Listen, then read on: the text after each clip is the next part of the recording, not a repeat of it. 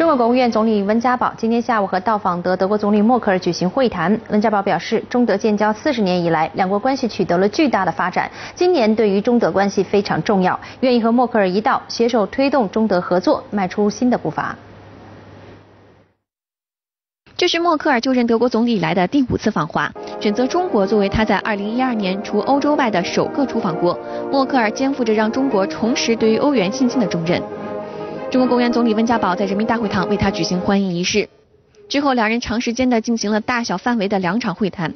温家宝说，两人就双边关系的重大问题深入交换了意见。今年对于中德关系来讲是十分重要的一年，双方不仅会有频繁的高层的会晤，还将举办一系列大型的经济文化交流活动。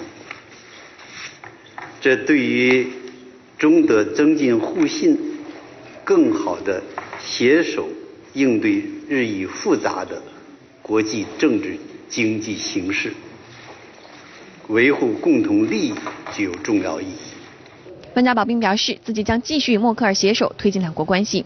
我完全赞同钟丽女士所说的，你这次访问的目的是着眼未来，共同。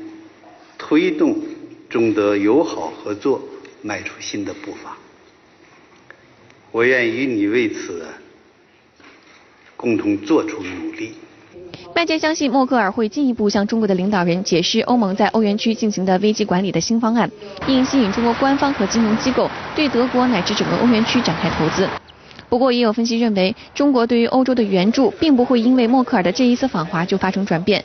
具体到如何对欧实施援助，中国也需要慢慢思考。